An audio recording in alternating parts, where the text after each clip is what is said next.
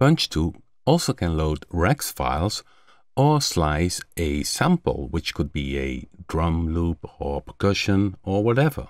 A good example is this preset in the introduction bank called Brush Slidesy. You see the value 120 beats per minute. So the originally the drum loop is on 120 beats per minute. And what I did also in the host sequencer is set the tempo down here. You see 220 beats per minute.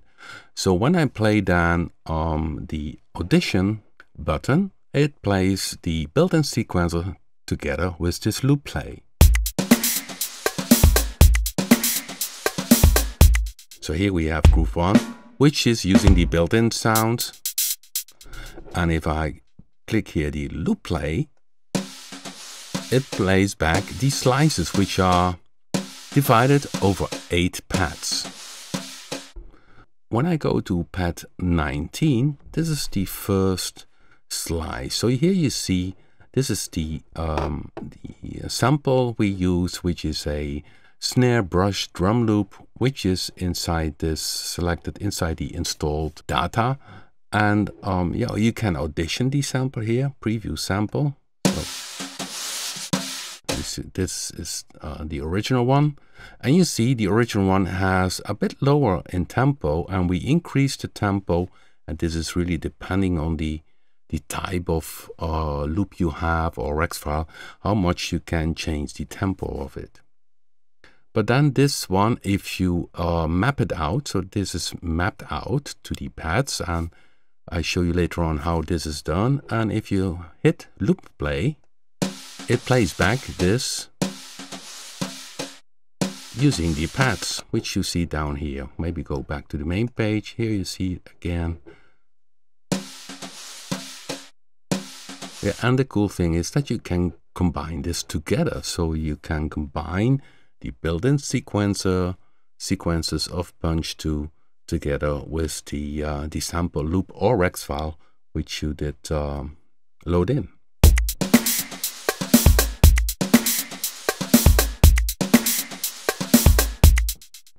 Okay, let's go to a few things I like to show you how you can work with these slices. In the introduction bank you can find a kit preset which is called default slice. And you see all the pads have the same sound, basic sound, the default sound, which is a bass drum. But in this preset, I picked pad 1 and set this already to slice. So here you have pad 1 and each pad can be anything uh, from a bass drum, a snare to a tom or a clap. And uh, if you want to work with slices, you need to pick at least one pad to start with being a slice. So once you select the slice, you can drag and drop uh, a sample down here, which is the folder, and the folder where all the slices, uh, loops or Rex files are located are, let me show you. So they are located on the PC on in the documents, Rob Papen folder, Punch2 slice loops. So here you could drop them in and uh, or you could say really drag drop inside here and on the Mac it's inside the applications Rob Papen Punch2 slice loops. So now this pad is set to slice and by simply clicking here on the loop or a Rex file it loads in and you see this is a Rex example and it already sets the point because the points are the the slices already inside the Rex uh, file. So once this is done and you see it has 10 slices, you can map this out. You can audition it here, preview sample. And you can say map slice. And map slice means then that you can set, okay, I map these 10 slices to the pads. And you could start at uh, pad 1, which I will do now, but also could be something else. But let's start at pad 1 now. And now you have the slices, you see it down here, up to 10 are now here. Of course, the tempo is already displayed as well here, 120 beats per minute.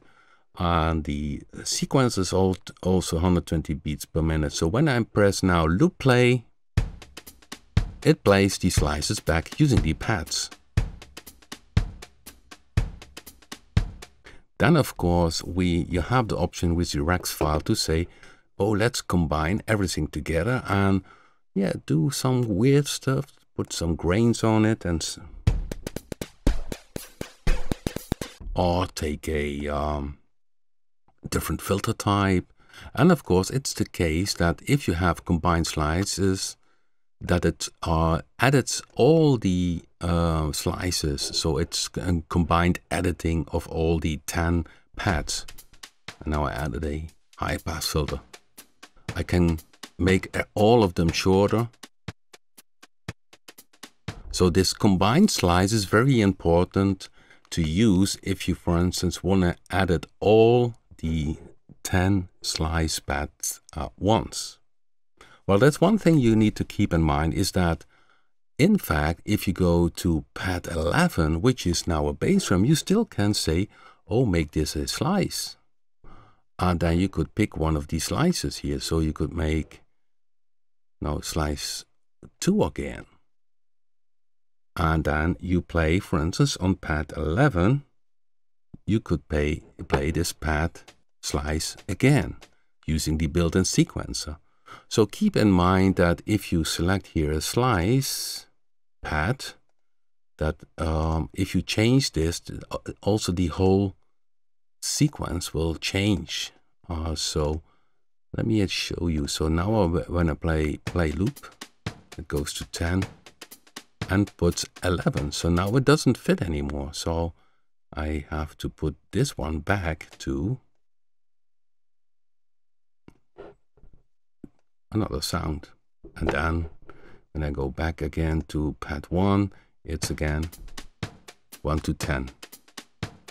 So there's a lot of freedom where you can put these slices, but if you go outside the main uh, layout, which you do it by using map slice and take pick here on different pads also these slides, you get a bit of messy stuff. So be careful with that because each pad has the freedom to be also a slice.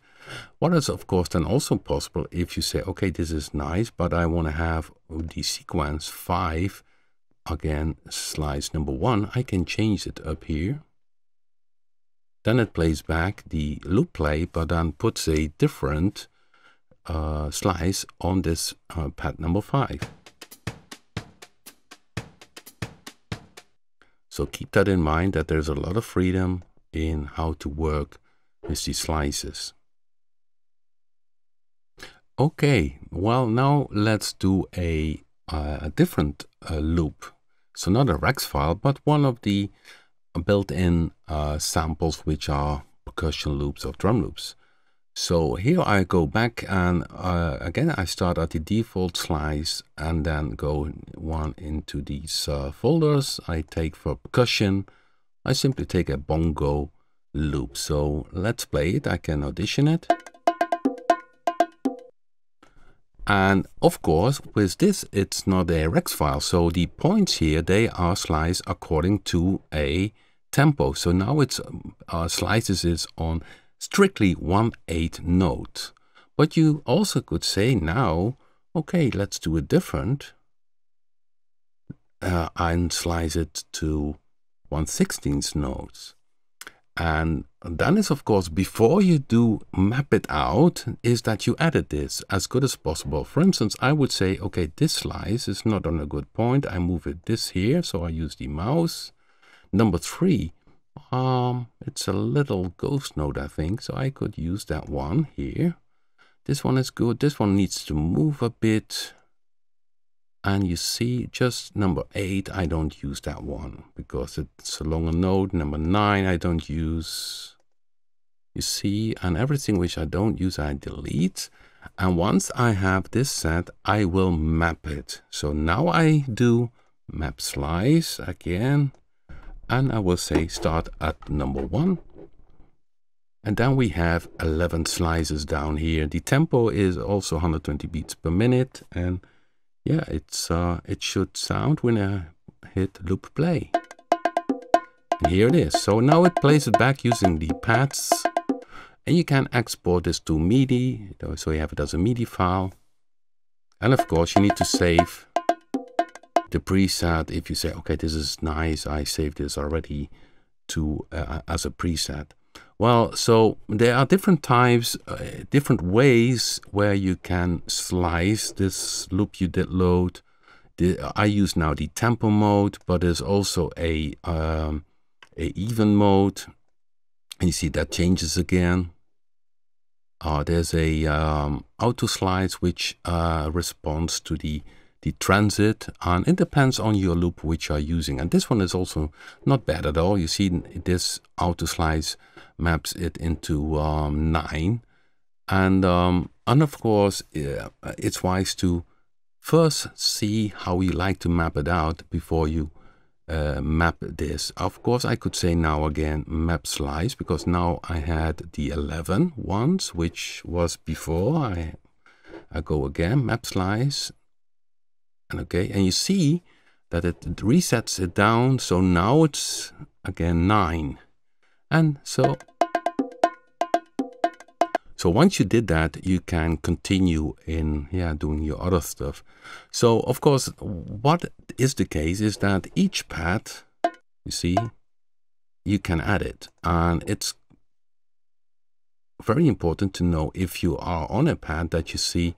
Okay, keep in mind that I still can change here, so I could change pad six with a different slice. So don't make mistakes in editing because yeah they are not hardwire connected. There's a lot of freedom. And so what you can do here is, of course, if you are on slide 6 and you click here the with your mouse, you can audition it and you could say, okay, let's tune this one a bit lower. Okay. So now it auditions only the original, so I need to click on the... And then you have So then you can start doing some weird stuff. So this is now, this pad is selected and then this area is ruling it. So this is the area for each pad. And I also could say make it a bit shorter. So even shorter.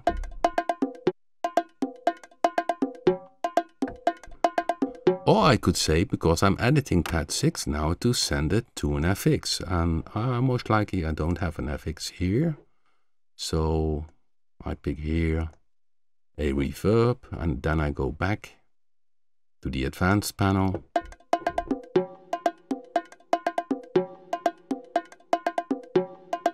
So this is important to know that, that you need to edit the pad down here if you want to change, for instance, the tuning of this particular part or a shorter decay and what I used before the video is that uh, is you also can combine slices so that if you added something down here that it affects all the pads below it. But it depends on your workflow, how you like to use. And then of course here in pad 6 you also could say reverse the slide. So then it reverses the slide and you see, let's see how it sounds of course.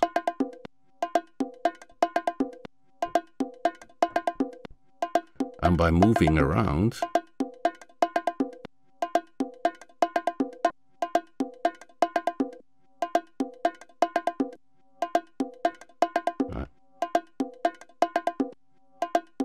you can make it a bit different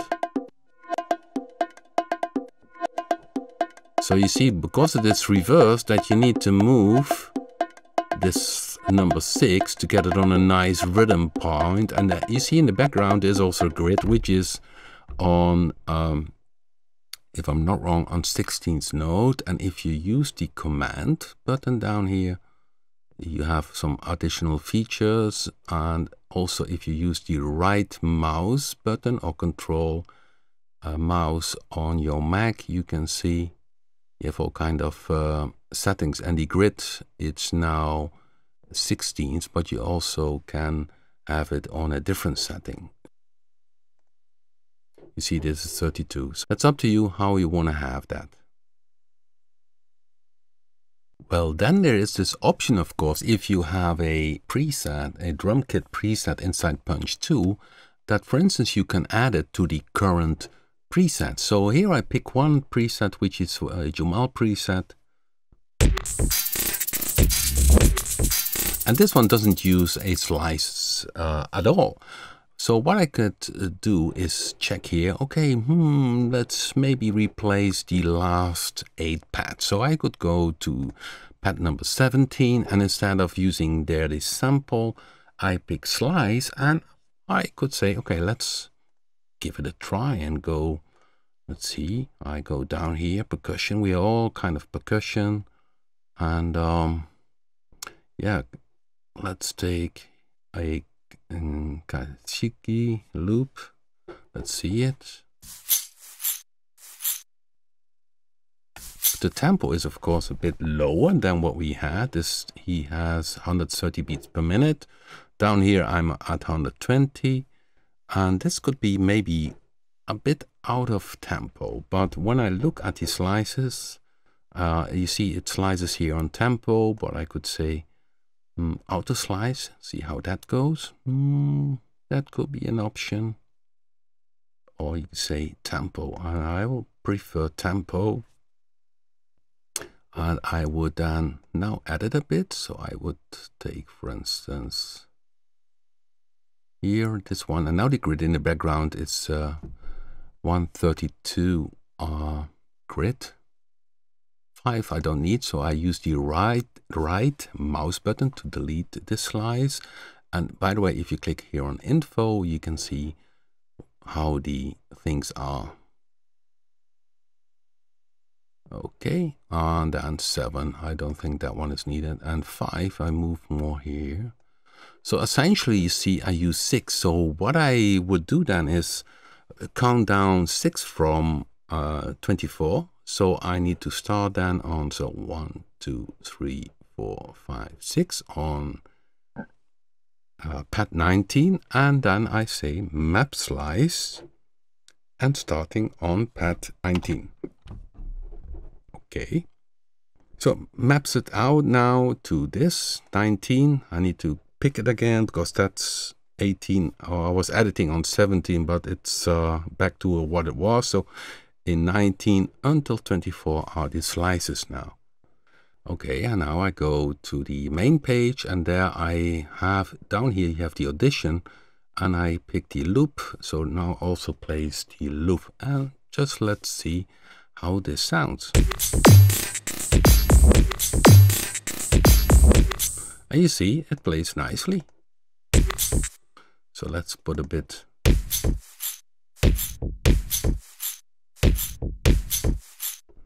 So it depends on the loop you load or the Rex file, eh, how it is with a different tempo. Now it's still 120 beats per minute.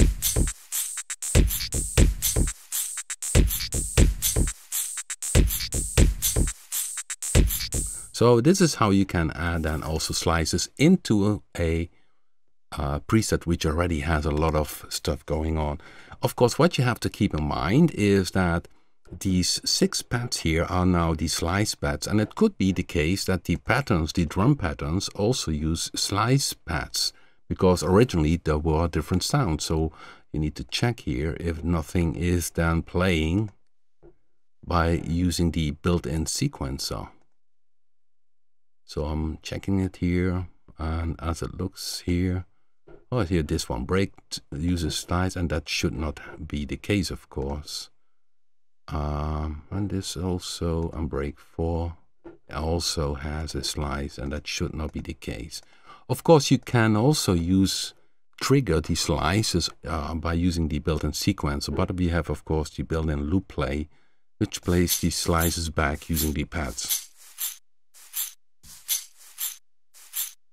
And um, so, yeah, this is a very nice way to um, to combine and uh, yeah, current presets together with some new material. And it's fun. And uh, so when I press audition here you have groove 1 groove 2 and this slice loop playing. So this way you can really do some cool stuff already